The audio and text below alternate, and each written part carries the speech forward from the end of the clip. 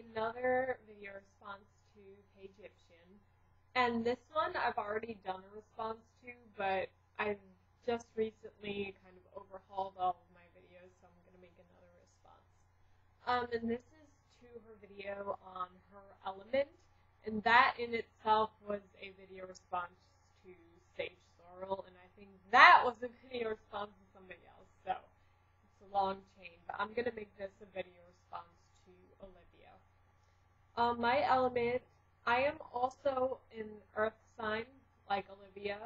Um, I'm a Virgo, and so even before I knew about astrological signs and things like that, I was always very connected with the earth. And I know everybody says that, and it sounds kind of cheesy, but when I was a little kid, I seriously, I spent all of my time outside. I, I was never inside, and I always loved going barefoot so that I could feel the dirt and the grass underneath my feet. It just felt so natural and amazing.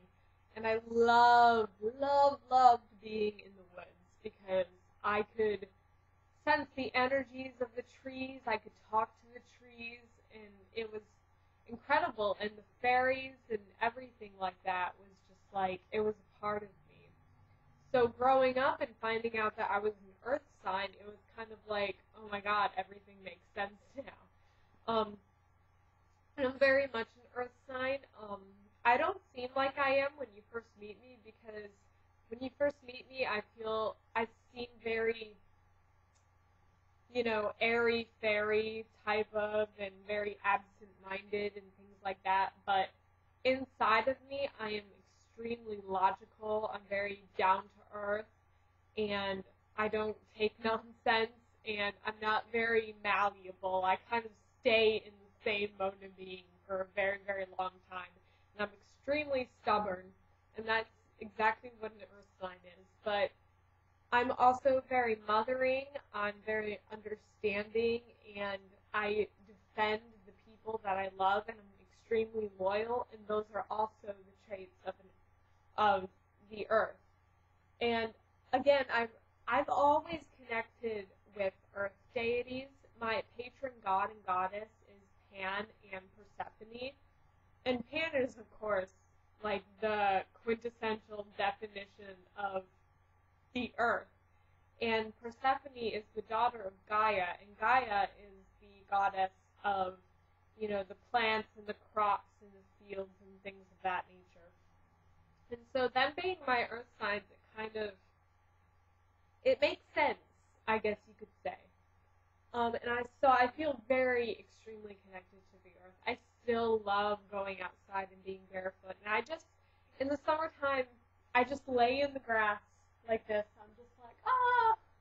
I love it so much. And I just close my eyes and just feel the energy around me and the energy of the earth. I can literally feel it as a pulsing sensation of the earth. And it's absolutely incredible. And I'm so just grateful that I have such connection to the earth and that the earth is my mother and my goddess. And so, yeah, and I still feel very connected to trees. I'm not as close to them as I used to be, which makes me very, very sad, but I want to change that because I've been around a lot of trees in the past couple of years, and so I can feel them trying to communicate with me.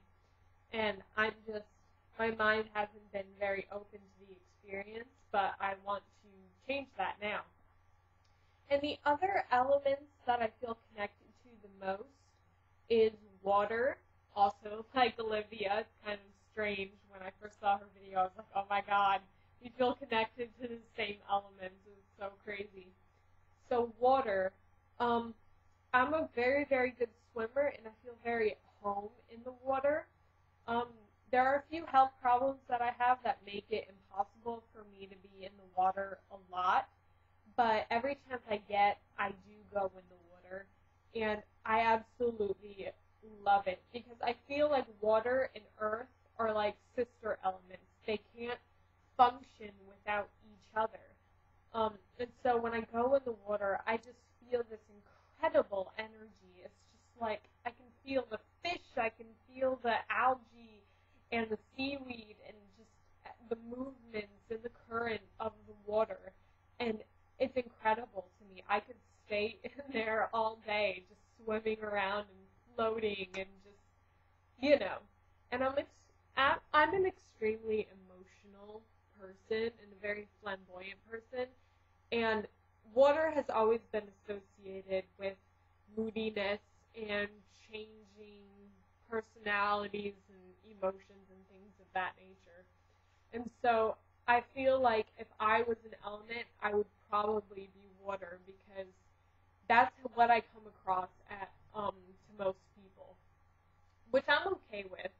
And so I find it interesting that earth and water are both signs of the goddess and representations of her. And so I'm very connected to those two they are so feminine. They represent the two sides and personalities of the feminine aspect of the divine. And so, yeah. And I also feel very connected to Earth, but purely from one, an intellectual point of view, because Earth has always been connected to the intellectual and rationality and thinking and things like that.